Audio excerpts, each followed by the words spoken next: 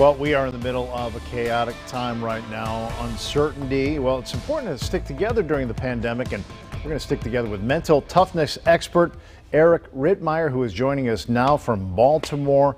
Eric, you are a former Marine and expert in the fields of mental toughness, but on your Twitter page, you also talk about kindness, compassion, love, empathy, and unity. So, talk to me about bringing all of these elements together to sort of help us get through this really difficult time now. We're in the beginning of summer, fall is around the corner. We're hoping a, uh, uh, you know that there will be a, a vaccine ready. But what do you say to people who listen to you for, for strength and clarity?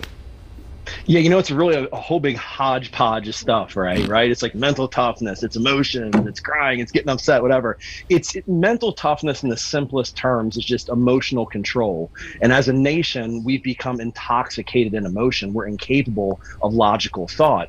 What we need to do is to take a step back and to really understand that what we say and what we do words have impacts on other people. We have to be very hypersensitive to the to the point that people are having a very difficult time right now because of the shutdown, because of everything that's happening. We have to be very sensitive to that. Okay, so understanding that, um, you know, that that is one part of the puzzle here, but then it's taking that step forward in the way we interact with um, other people, and I think for a lot.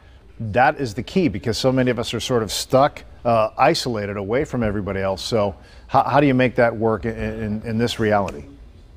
Yeah, the, the best advice I can give with that, Ray, if you wanted to take one thing and say, all right, Eric, what can I really do to to make a difference or to better connect or to understand where people are coming from, I would say to practice at becoming better listeners. We are a society that does not want to listen. We only listen enough to formulate a reply. Hmm. We don't listen with the intent to understand. So when somebody's talking, before they're even finished, we're trying to formulate our response. We can't totally acknowledge what they're saying if we're thinking about how we're going to reply to it. We have to be better listeners. Yeah, I think you're talking to me right now. that is a really important distinction to make, right? Listening just enough for a reply or really listening so that you can understand uh, the other person's situation. How about this point? Um, maintaining calm, you know, in this volatile world that we're living in right now. That is another thing that I think is, for many, easier said than done. Yeah, much easier said than done, Ray. That's very difficult. And to remain calm in volatile situations is a skill that does take a lot of practice. Where I would start with that, and the one bit of advice I give there is to be aware of our triggers. We all have these triggers, these things that set us off. When we're going into situations where we might be approached by people that are going to say or do things that are going to upset us, we have to be mentally prepared for that. The more prepared we are, the better off we are. We want to respond as opposed as opposed to react. We don't want to have this knee jerk reaction, which is going to be emotion based. We want to have time to respond to what people say. Um, and the final point here, you, you say learn good manners. Uh, we, we know why that's important, but why is that something that can help us uh, heal in this time? Because when you think of manners, you think of yes, sir, no, ma'am. I'm not talking about those types of manners. We're hmm. automatically assuming everybody does that, although not a lot of people do anymore.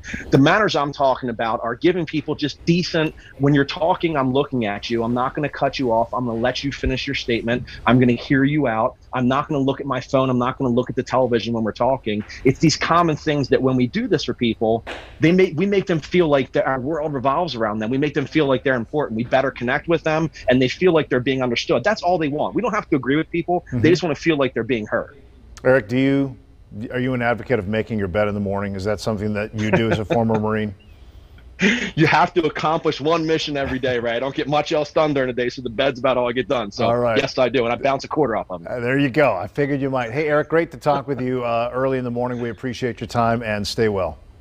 Likewise. Thank you so much. Ray. Have a great day, buddy. All right, you too. Take it easy. 627, Scott, over to you.